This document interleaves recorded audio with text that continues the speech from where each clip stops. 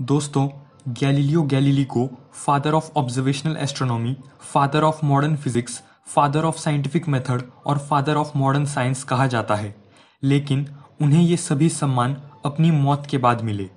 उनकी ज़्यादातर discoveries church के खिलाफ होने की वजह से उन्हें ज़िंदगी भर संघर्ष करना पड़ा।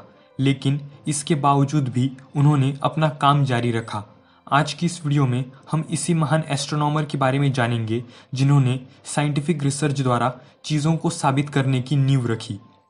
दोस्तों, इस कहानी की शुरुआत होती है 15 फरवरी 1564 से, जब इटली में गैलीलियो का जन्म हुआ। उन दिनों स्कूल्स काफ़ी कम थे और उनके फैमिली की फाइनेंशियल कंडीशन भी ठीक नहीं थी। ईयर 1575 से लेकर ईयर 1578 तक उन्होंने थोड़ी बहुत एजुकेशन ली। ईयर 1580 में उन्होंने यूनिवर्सिटी ऑफ़ पिसा में मेडिकल डिग्री के लिए प्रवेश लिया एक दिन जब गैलीलियो चर्च में बैठे थे, तब उन्होंने देखा कि वहाँ के झूमर में मौजूद सभी कैंडल्स के फ्लेम का टाइम पीरियड सेम था। उन्होंने काफ़ी समय उन फ्लेम्स को देखते हुए बिताया। चर्च से घर आने के बाद उन्होंने दो सिमिलर पेंडुलम्स को अलग अलग डिस्प्लेस किया और यहाँ भी उन्हें सेम टाइम पीरियड मिला।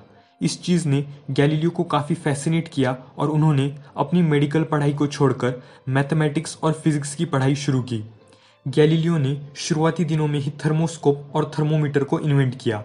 ईयर 1591 में गैलीलियो के पिता की मौत हुई और उनकी फाइनेंशियल प्रॉब्लम्स बढ़ने लगी।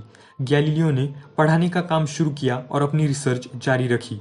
उन दिनों टेलीस्कोप का आविष्कार हुआ था लेकिन वो टेलीस्कोप्स ज़्यादा मैग्निफिकेशन नहीं दे पाते थे। गैलीलियो ने खुद से टेलीस्कोप्स बनाना शुरू किया और वो देर रात तक आसमान को देखते रहते। गैलीलियो ने टेलीस्कोप्स बनाकर बेचना भी शुरू किया। एक दिन उन्होंने देखा कि जुपिटर के आसपास तीन ऑब्जेक्ट्स लगातार मंडरा रहे हैं। कई दिनों तक ऑब्जर्वेशंस करने के बाद उन्हें पता चला कि ये सभी जुपिटर के सैटेलाइट्स हैं जो जुपिटर को ऑर्बिट कर रहे हैं। ये डिस्कवरी काफ़ी रिमार्केबल थी, क्योंकि तब लोगों का ये मानना था कि अर्थ यूनिवर्स का सेंटर है और सभी सेलेस्टियल ऑब्जेक्ट्स सिर्फ़ अर्थ को ऑर्बिट करते हैं। लेकिन गैलीलियो ने कुछ अलग ही डिस्कवर किया। इसके बाद उन्होंने कई दिनों तक सन और विनस को ऑब्ज़र्व किया और पता लगाया कि अर्थ और सभी प्लैनेट्स दरअसल सन को ऑर्बिट करते हैं। गैलीलियो की ये डिस्कवरी चर्च के खिलाफ थी। चर्च ने गैलीलियो के हीलियोसेंट्रिज्म का विरोध किया लेकिन गैलीलियो अपनी थियोरी पर अड़े रहे। उन दिनों चर्च के खिलाफ जाना जुर्म था क्योंकि लोग साइंटिफिक रिसर्च से ज़्यादा रिलीजियस स्क्रिप्चर्स पर भरोसा करते थे। गैलीलियो के सभी राइटिंग्स को बैन करने के बाद उन्हें हाउस अरेस्ट में रखा गया। अब गैलीलियो ने एस्ट्रोनॉमी को छोड़कर फिजिक्स की तरफ़ ध्यान दिया। हाउस अरेस्ट के दौरान गैलीलियो ने फिजिक्स और मैथमेटिक्स में इंपॉर्टेंट कॉन्ट्रीब्यूशंस किए। 8 जनवरी 1642 को गैलीलियो की मौत हुई। उनकी मौत के कुछ सालों बाद उनकी थियरीज के प्रूफ्स मिलने लगे और लोगों ने गैलीलियो की थियरीज पर ध्यान देना शुरू किया। ईयर 1718 में उनके राइटिंग्स पर लगाए बैन को हटाया गया और कई डिस्कवरीज लोगों के सामने आई। गैलीलियो शायद पहले ऐसे व्यक्ति थे जिन्होंने ब्लाइंड फेथ की बजाय साइंटिफिक रिसर्च पर भरोसा किया।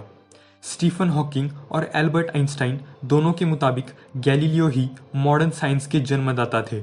गैलीलियो को मॉडर्न साइंटिस्ट द्वारा काफ़ी सम्मान दिया गया। उनके सम्मान में ईयर 2009 को इंटरनेशनल ईयर ऑफ़ एस्ट्रोनॉमी घोषित किया गया। दोस्तों, गैलीलियो की तरह ही हो सकता है कि हम भी सही काम कर रहे हों, लेकिन लोग हमारे काम पर विश्वास ना करें।